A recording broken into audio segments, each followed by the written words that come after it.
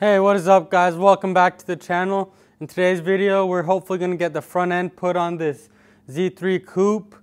We did go ahead and get the frame pulled and he also painted it for us and it looks almost as good as new.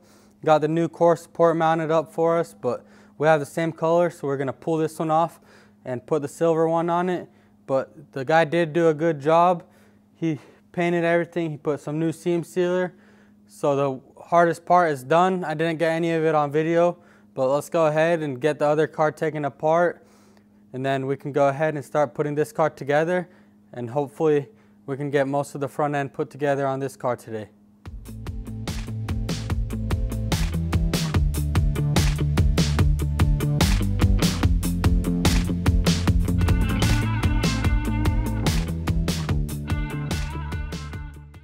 We're about to take this car apart and uh, we're gonna get the headlights off, get them polished, pull the hood and start aligning it all onto the front of our car.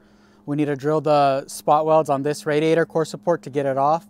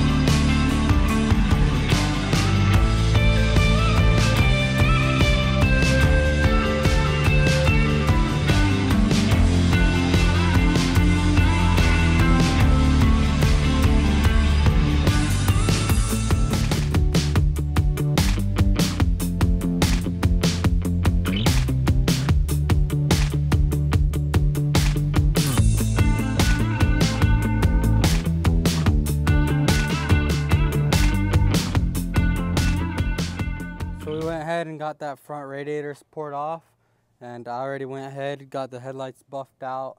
They're not perfect but we're definitely gonna have to rebuild those or find some other ones. And here's the core support we got all the spot welds drilled out nicely. So I'm gonna give that a good wash. And all we have left to pull off this car is probably the hood. And we're gonna go ahead and start putting together the other car